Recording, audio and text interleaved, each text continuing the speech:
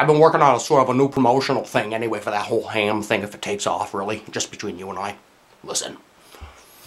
I get all worked up for mom because she's super psyched. But listeners, check this out. This is sort of like a pitch for my spiral hams, huh? This is Paul. You want to get a spiral ham? You want a pussyfoot around. 27th and 3rd spiral ham. Huh? Work at him with a couple of sweet things all moving in, some words and stuff. Get a couple of address and something they can work with over there. Swear to God. There are gonna be spiral hams coming out my ass. You are gonna have a spiral ham like you've never, ever, ever, ever seen.